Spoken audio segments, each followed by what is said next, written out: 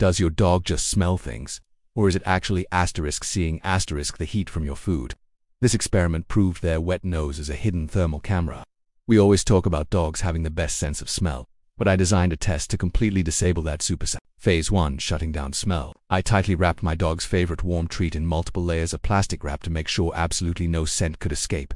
Then, I put the wrapped treat in one of two identical boxes. There's no smell and no visual cue for my dog to follow. Now for the main event, seeing the heat. Watch this. My dog went directly to the correct box with zero hesitation. But how is that possible? The secret is their wet nose. It acts like an incredible thermal sensor. The cold, wet surface of their nose detects tiny temperature differences, like the faint heat coming off that warm treat, even through the box.